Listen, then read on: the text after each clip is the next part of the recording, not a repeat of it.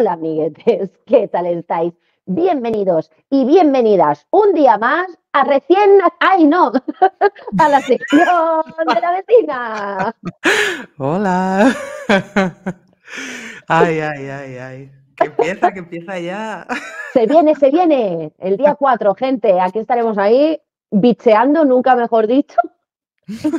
A ver lo que hacen en el, en el recién nacidos este, ¿no? Es decir, que va a ser un blanqueamiento total, creo yo. Es que mundo. Es que es muy fuerte. Es que ya lo pueden pintar como quieran. Yo estoy totalmente convencida de que esto, mira, directa o indirectamente, fuese la intención o no, va a blanquear a estas, a estas tres parejas que al final lo que hacen es sobreexponer a sus hijos en las redes sociales.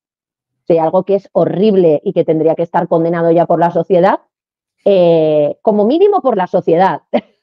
Lo de, Los de arriba lo dejamos, ¿no? Un poquito ya como para más adelante, ¿no? Que siempre son los últimos en darse cuenta de todo. Y no, sí, no, no dar espacios, no dar más espacios a esta gente para que, eh, bueno, pues hagan ver otras cosas, ¿no? Que no es la realidad.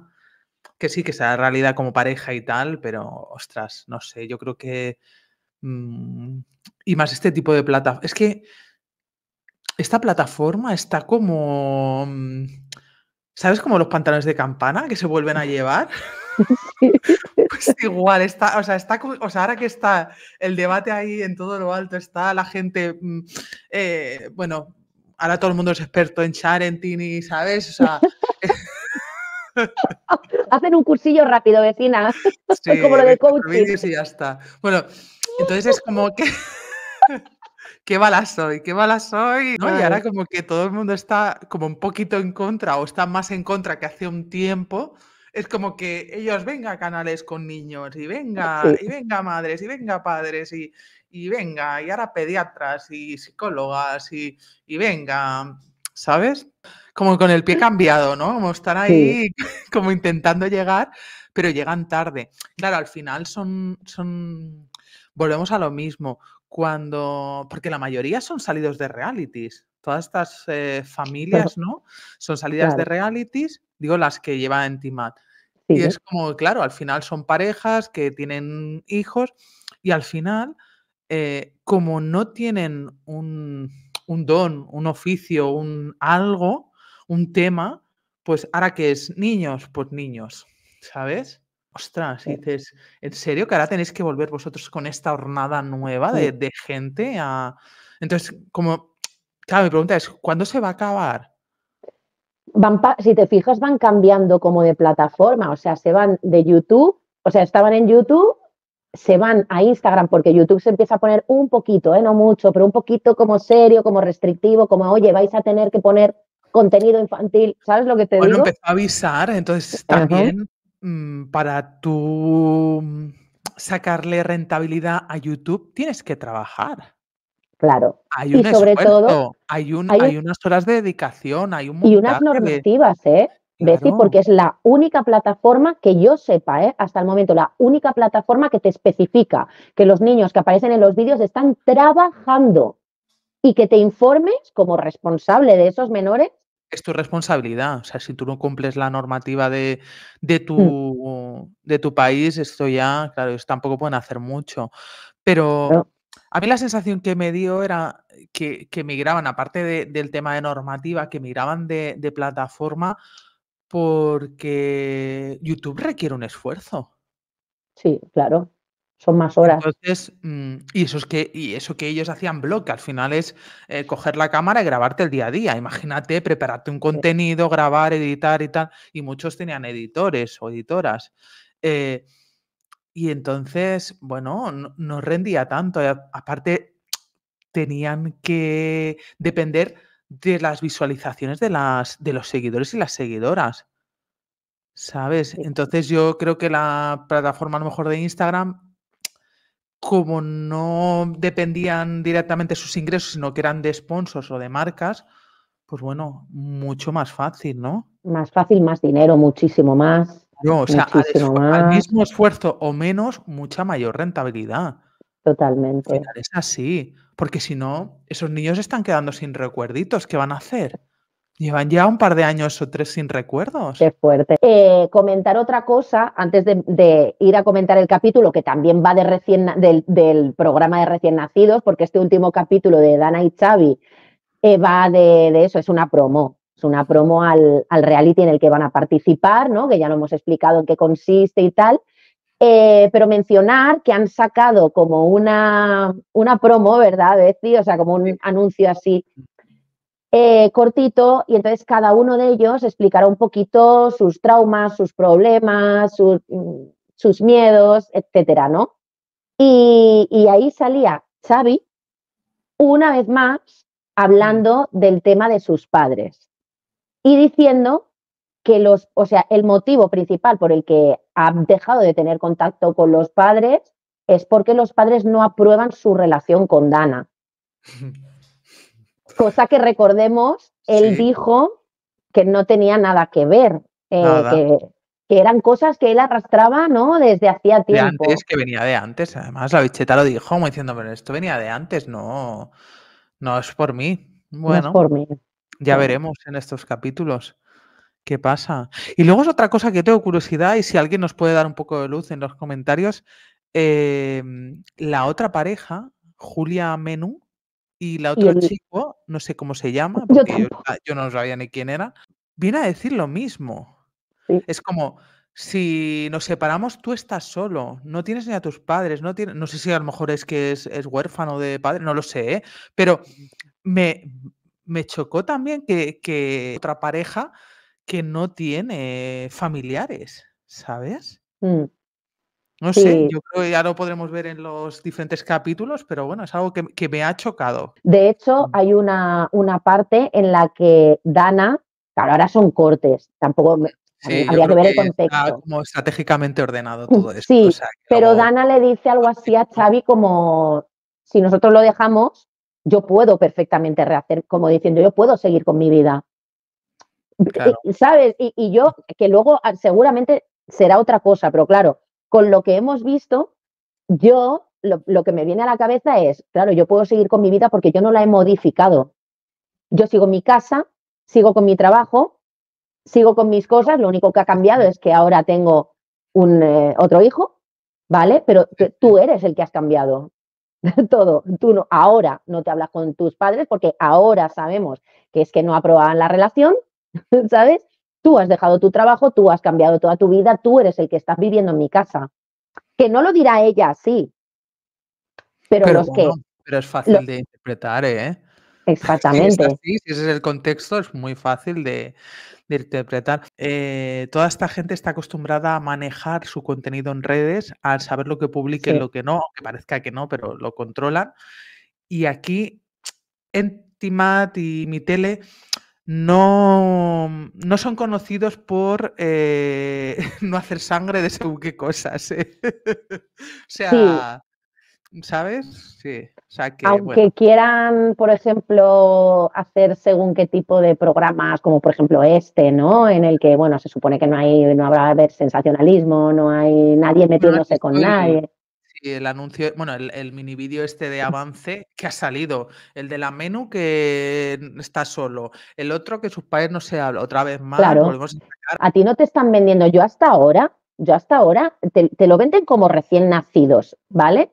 Hasta ahora no me han enseñado para la promo, eh, ostras, estoy mm, desgastado, estoy superado porque no puedo más, porque, ostras, esto me está viniendo quizá un poco grande. Exacto, no, no. ¿A ti qué te están vendiendo? Salseo. El salseo. El, eh, luego dirán, ¿sabes? Pero lo que te están vendiendo como promo es el salseo. Es eh, no me llevo con mis padres porque no aprueban la relación. Toma, bombazo, porque nunca lo habían soltado así. ¿Te acuerdas que decían que venía de antes, que tal, que no era nada que ver con ella? Eso antes de quedarse embarazada, ¿eh? A ver, pero luego es que dicen, aprueban la relación, pero ¿qué, relación van a aprobar? A un mes tú te metes en un reality, te rozas con el Manuel manita relaja, que ya solo por rozarte con el Manuel manita relaja, para mí ya has perdido. ¿Tú sabes la imagen esa que salía eh, la bicheta corriendo así como para abajo, diciendo como que estaba echando a perder todo su trabajo? ¡Estoy jodiendo la vida! Bueno, al final, pues desde fuera se movieron los hilos y ya está. Y eso fue para parar. Que aún así, cuando lleva las galas, pues Xavi iba. Xavi, ¿tú no te acuerdas que Xavi iba y se volvía? Que aún trabajaba. allí dentro te puedes haber confundido. bueno, bueno, mm, mira, mm, me lo voy a creer. ¿vale? Soy buena persona, me lo voy a creer. Pero que después tú vas y sales con él. Que fue lo, de ahí vino el vídeo que hizo Manuel en la peluquería. Sí. Yo soy Xavi, me vacila, sí. Eh. Todo esto venía porque es que mis padres no aprueban la relación, pero ¿qué relación van a aprobar? Mm. ¿Qué te tienen que decir tus padres? Que, Xavi, pon la otra mejilla, ¿no? ¿Cómo es esto, no? De poner la otra mejilla. Eh, eh, hombre, malo sería que mis padres viesen eso y me dijeran, sí, muchacha, sigue ahí. Que, que esa roza con otra, que, te, que pasa de ti, que tal, pero tú sigue ahí. Normal que desconfíen. Ese es el problema. Tú tienes una relación y en privado tú a tu pareja le perdonas lo que te dé la gana y tus padres no se tienen por qué enterar. Claro, ¿qué pasa? Que tus padres se enteran porque esa persona es influencer, es famosa, ha entrado a un reality y ha sido, ha tenido el papo de ponerme los cuernos delante de toda España. ¿Te dolería que tu hijo hiciera el ridículo allí? Un tío con un metro noventa guapo que se puede valer por su con trabajo y tal, y tiene que ir mm. a un programa que tiene, o sea, en prime time, con emisiones en todo el país, que estás en la tele, que estás haciendo el ridículo, porque hizo el ridículo realmente. Es que eh, mi pregunta es, ¿qué le tendrían que haber dicho los padres? Perdón, o sea, ¿qué le tendrían que haber dicho los padres? Eh, estupendo, cariño. Venga, no pasa nada, te apoyamos a tope y si te lo vuelve a poner, no sé, eh, le invitan a otro reality y, y te lo vuelve a poner otra vez, pues nada, cariño, aquí estaremos, ¿vale, corazón? ¿No? Y cuando después de haber pasado eso, tú les comunicas, mira, mm, está embarazada, ¿vale? Mm, voy a tener un, hijo, vais a ser abuelos. Em, yo creo que esa es la parte en la que él dice en la promo, dice, ni un ápice de felicidad en su cara. ¿Qué quieres? Es que si yo veo que mi hijo, ah, mira, luego a tu nieto lo puedes querer un montón, porque es el hijo de tu hijo y lo, y, lo, y lo vas a querer un montón.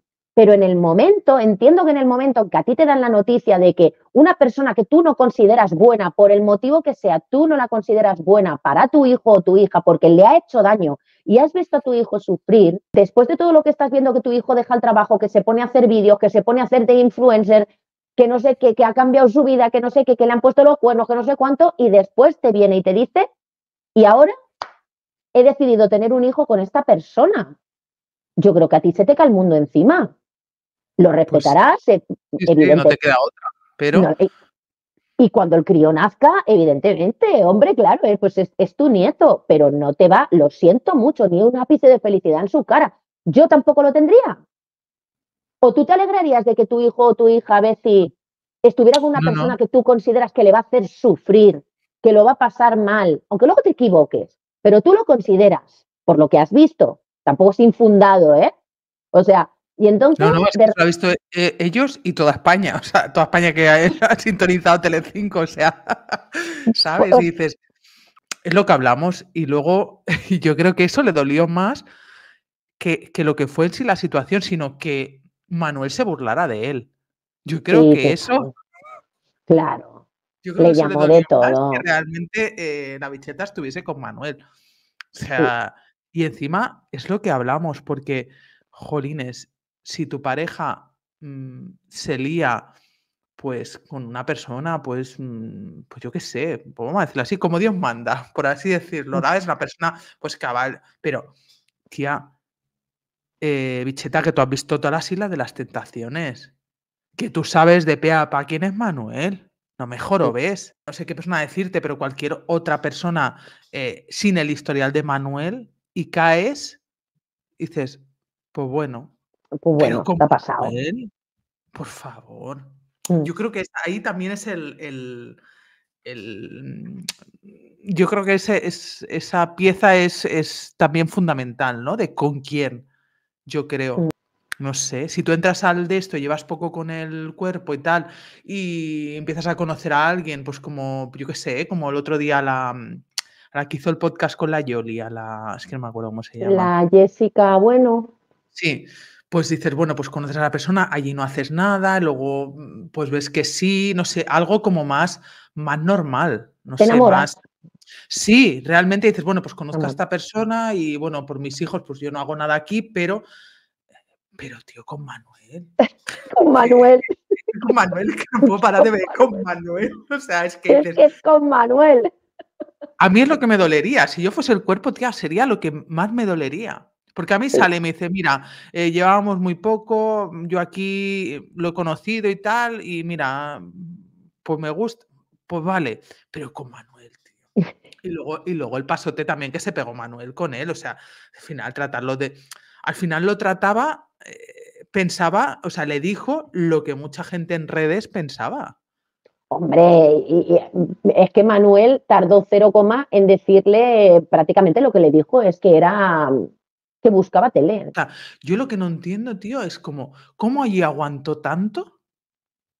Y luego a Mm. lo mejor no es capaz de coger a su hijo y llevarlo a ver a sus padres, por ejemplo. ¿Sabes? Pues mira. El, el aplomo que tiene, eh, tuvo en, en- en ese momento de estar ahí aguantando, y dando la cara y aguantando y aguantando y aguantando, y luego con sus padres es como si hubiera tirado la toalla. Bueno, yo Porque a creo la intentó entender y tal y cual, pero a sus padres, yo creo que al menos la sensación que da es eh, que ha hecho cero por, por entenderla, ¿no? Y no sé. Que le pida consejo a la nona, ¿no? Que le haga de coach un poco para ver si puede retomar la, la relación con sus padres y puede esos, esos abuelos que al final tienen derechos y legalmente lo tienen, el estar con su nieto. ¿No? Y que bien les vendría también dejarlo una tardecita de sábado, que la nona tiene planes los sábados, pues dejarlo con los abuelos paternos, irse al cine, ¿no? Que también está bien. ¿Por qué no has tratado de solucionarlo? Mm, ¿Sabes lo que te digo? No tienes que, de verdad tienes que esperar a ir a un reality para que, ¿no? Para que te, a ti te ayuden a, a sobrepasar este momento o a saber llevarlo mejor.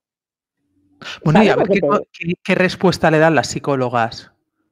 Eso A es ver lo que qué le dicen. Porque, a ver, si alguna dice, no, es que a lo mejor lo que deberías hacer es tú coger a tu, si a tu mujer no la quieren, pues bueno, que no la quieran. Mm. Pero a lo mejor coger a tu, no es que no la quieran.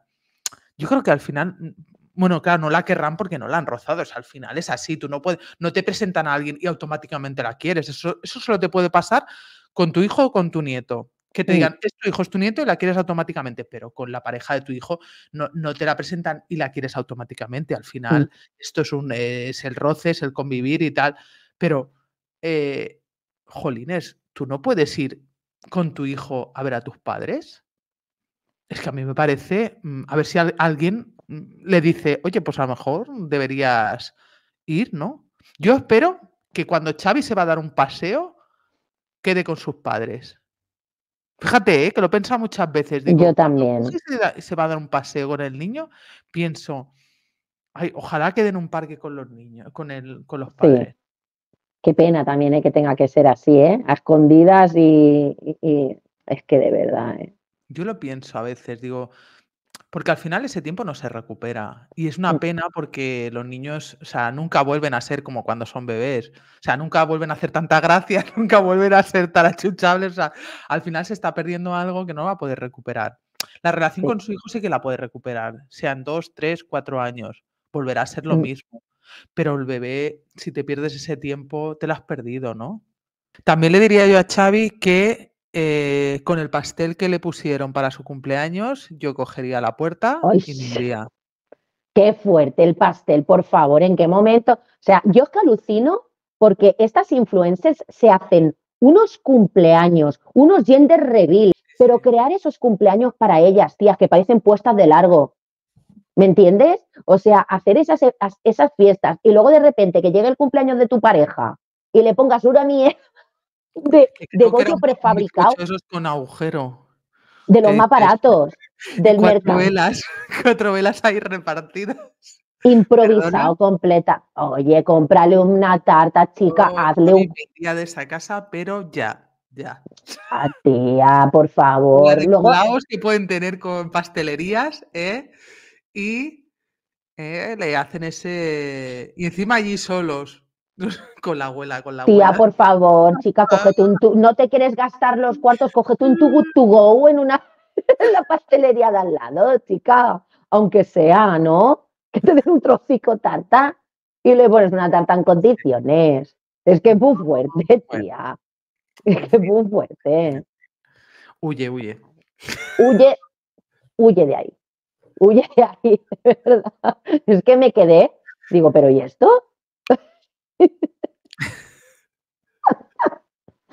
Es que la vida está muy cara. La vida está muy cara. Es que es heavy, tía, por favor. Que luego, es que es lo que decimos, tía, que luego tiene el santo potorro de decir que cobra 20.000 euros, que cuando dice eso cobrará el doble. ¿Sabes lo que te digo? Y se presenta con ese bizcocho prefabricado y dicen que no compran pescado. No puedo con eso, no lo supero, ¿eh? Eso y los kiwis amarillos. El pescado. El pescado y los kiwis. A mí Ay, se me ha quedado aquí y esto no lo supero, tía. Ay.